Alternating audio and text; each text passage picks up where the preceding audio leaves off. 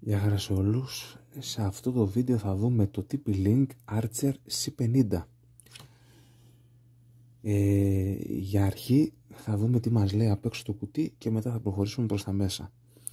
Ε, αυτό που βλέπουμε πρώτα απ' όλα είναι μια φωτογραφία από το router. Το συγκεκριμένο είναι router.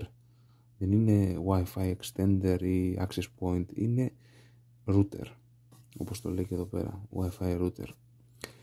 Ε, μετά βλέπουμε ότι είναι, έχει διπλή μπάντα.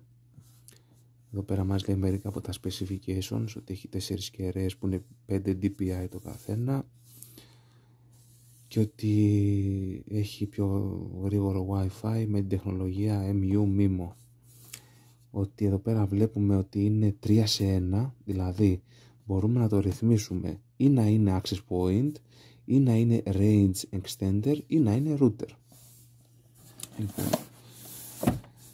εδώ πέρα στο πλάι βλέπουμε ότι μπορούμε να το σετάρουμε είτε από υπολογιστή είτε από το application της TP-Link και εδώ πέρα μας λέει στην ουσία αυτά που είπαμε και πριν ότι μπορεί να δουλέψει σαν router mode, access point mode και extender mode. Και μας έχει ένα σχεδιάγραμμα στην ουσία τι είναι το καθένα ε, εδώ πέρα μας δείχνει το πίσω μέρος ε, της συσκευής το reset, το WPS on-off, τις Ethernet θύρες, το on-off κουμπί, η θύρα του ρεύματος. Εδώ πέρα στην ουσία μας ε, εξηγεί τι είναι το beam forming, είναι μια τεχνολογία στο ασύρματο ίντερνετ και ότι έχει και Facebook, Wi-Fi, guest authentication. Ε, πάμε όμως να το ανοίξουμε, να δούμε τι θα βρούμε μέσα όταν αγοράζουμε αυτό, αυτό το router. Αφού το ανοίξαμε βλέπουμε ότι έχει μέσα βιβλιαράκια με τις οδηγίες χρήσεως.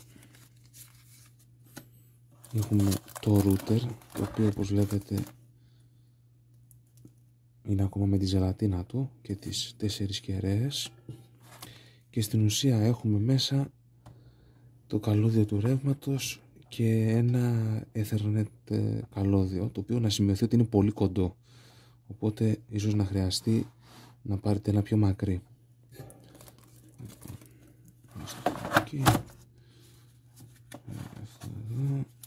Αφού τα βάλαμε όλα μέσα και το κλείσαμε θα σας πω μερικά πραγματάκια για το τι χρήση το προορίζω εγώ.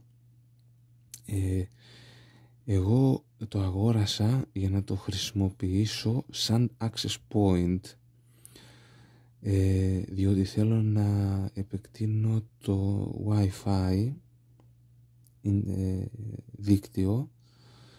Ε, το συγκεκριμένο αγοράστηκε σε προσφορά στα 20 ευρώ αν θυμάμαι καλά ή 20 ή 25 παραπάνω δεν υπάρχει περίπτωση να το είχα πάρει δεν είναι μία τέλεια λύση. Δηλαδή, αν έχετε πολύ μεγάλο σπίτι, πρέπει να πάρετε επιπλέον εξοπλισμό ή θα πρέπει να σκεφτείτε να αγοράσετε εξοπλισμό για MES Wi-Fi, τον οποίο δεν θα το αναλύσουμε. Ε, το συγκεκριμένο κάνει καλή δουλειά, αλλά αν έχετε πολλούς τείχους ή αν γενικά εκεί που θέλετε να το βάλετε είναι πολύ μεγάλη οικοδομή. Αυτό θα προσπαθήσει να κάνει ό,τι καλύτερο μπορεί αλλά παίζουν ρόλο πολύ, πολύ παράγοντες. Δηλαδή ε, για παράδειγμα πες ότι έχουμε αυτή εδώ την οικοδομή και είναι ας πούμε κομμένη στα τέσσερα. Λοιπόν παίζει ρόλο που θα το βάλουμε. Δηλαδή θα προφανώς δεν θα το βάλουμε στην άκρη, θα πρέπει να το βάλουμε στη μέση ώστε να εκπέμπει σήμα όσο πιο πολύ μπορεί. Ε, αυτό που παίζει ρόλο είναι βέβαια και πόσοι ε, χρήστες συνδέονται ταυτόχρονα γιατί όπως είναι γνωστό όταν συνδέονται πολλοί χρήστες ταυτόχρονα το wifi σήμα μοιράζεται και αποδυναμώνεται αλλά σε γενικές γραμμές για τα λεφτά που δώσαμε μετά από μερικά τεστ που κάναμε δεν ήταν κακό και πάλι για τα χρήματα που δώσαμε. Ίσως χρειαστεί να αγοράσουμε άλλο ένα. Θα δούμε.